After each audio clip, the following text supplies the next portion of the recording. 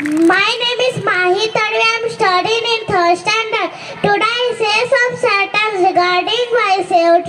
Trees are very important for the environment. Trees produce oxygen which is consumed by human beings and all living organisms. The trees provide us with food and shelter.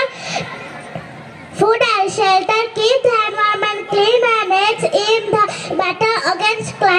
without trees, the existence of life on the earth would not be possible. In short, the conservation of trees is not